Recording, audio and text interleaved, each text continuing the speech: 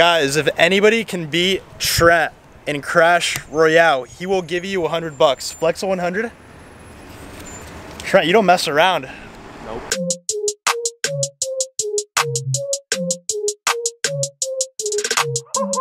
Good morning, guys. Today is officially the day. It's the start of finals. I legit have my first final in like 40 minutes. Am I a little bit nervous? Yes, but that happens for every test. My first final, which I'm taking today, is on stats, which is probably gonna be like the easiest final I ever take. Hypothesis testing, t-test, z-test, all that type of stuff. Even though I go to UF now, I still gotta rep the U.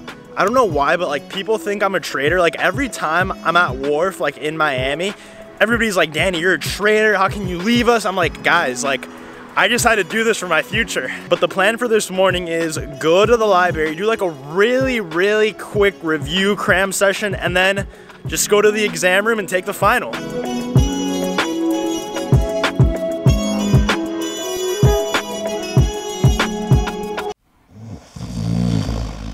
Yo, straight up, I don't know what it is, but whenever I take an exam that's worth like a bunch of points, it just feels like I ran a marathon. When I'm taking an exam, like physically, my body is just like sitting down. I'm just like writing, whatever, but like in my head, my brain is working like 20 times harder, figuring out everything, trying to get everything all right, freaking out, getting anxious, getting paranoid.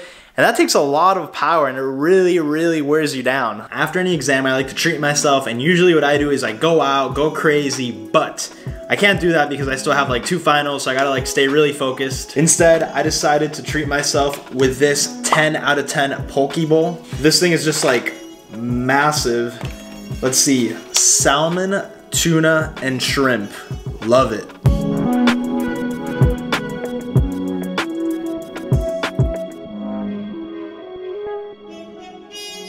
That stats exam was not so bad. I feel like I knew everything that was on the test, but I never just like to like jump to conclusions. People will be like, Danny, like, what did you think you got on the test? And I'm like, bro, like I straight up don't know. I don't have the result yet. But now that stats is completely out of my life, I still have two finals to go, chem and bio. Chem 2, I've been attacking, like literally attacking since the semester started. In Gen Chem 1, I got a C, so I told myself this semester that I cannot around and get another C or even a B. I need to get an A in Gen Chem 2. Guys, if anybody can beat Trent in Clash Royale, he will give you 100 bucks. Flex a 100?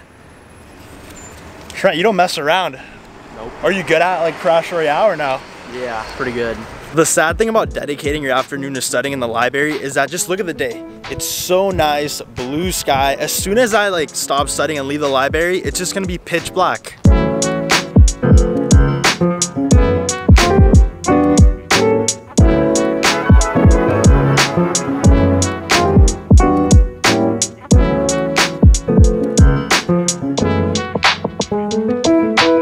What gets me going through days like this is knowing that in like I think five days I'll be back in Miami. I haven't really talked about it too much because I'm like so busy with finals and all these exams. But I think like the biggest adjustment that I had when like I came here to games was just like living alone, not having my parents, not having any friends.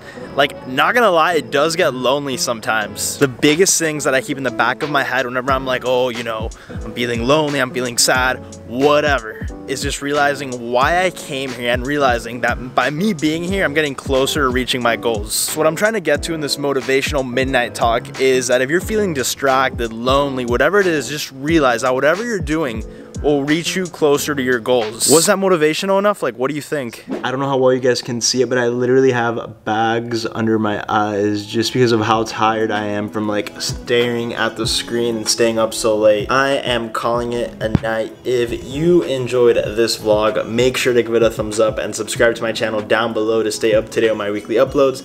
That is it for me, but always remember to stay hydrated.